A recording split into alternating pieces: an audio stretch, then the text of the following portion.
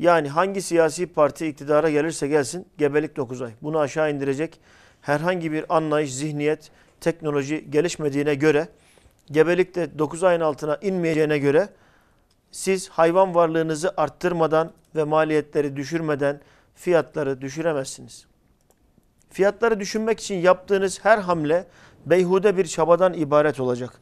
2001 yılından itibaren e, yükselen, sürekli trendi yükselen bir et fiyatları var. Et fiyatının pahalılığının temelinde neyin yattığını kimse merak etmiyor. Herkes eti üretene karşı bir düşman kesilmiş. Sosyal medya üzerinde bazı paylaşımlar yapıyoruz konuyla alakalı. Altına yorum yapan insanlara bakıyorum, çok acıyorum. Gerçekten bizim insanımız böyle mi düşünüyor? Yine bu sabah e, meşhur bir radyo kanalında iki tane spiker konuşuyorlar birbirleriyle. Birisi diğerine diyor ki bugün iki tane müjdeli haber var. Birincisi diyor e, Tarım Bakanımız yurt dışından ithalat getirerek marketlerde ucuza et sattıracak. Artık diyor rahatlıkla ucuza et yiyebileceğiz. Buna seviniyoruz diyor. Şu ironiye bakın, şu çelişkiye bakın. Akabinden ikinci sevindirici olay da yerli otomobil yapacağız 2021'de diyor. Şimdi bir taraftan henüz hayata geçirmediğimiz, bir hayal olan, yapmadığımız, yapmayı planladığımız bir şey için sevinen bir adam var.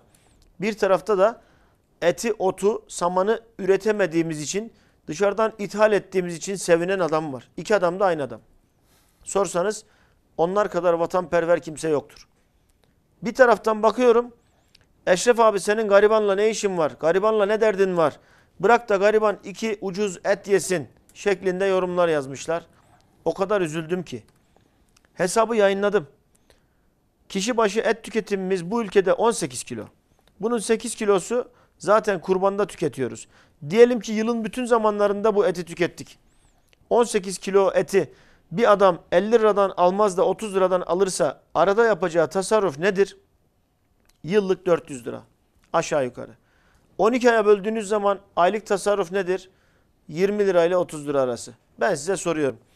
Aylık 1400 lira asgari ücret alan devletimizin tabiriyle gariban adam ayda 30 lira tasarruf etse ne olur, etmese ne olur? Eğer niyetiniz gerçekten garibana 30 lira tasarruf ettirmekse hodri meydan garibanın asgari ücretine 30 lira zam yapın. Siz de kurtulun, biz de kurtulalım.